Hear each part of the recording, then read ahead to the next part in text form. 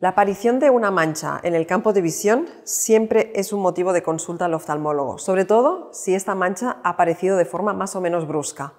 Hay muchos motivos que pueden llevar a ver una mancha en el campo de visión. Si es una mancha pequeña o varias flotando, moviéndose, podría tratarse de un desprendimiento de vitrio o una hemorragia vitria. Si es una mancha fija en el centro, podría tratarse de un problema en la mácula, como podría ser una hemorragia macular o una degeneración macular de aparición súbita.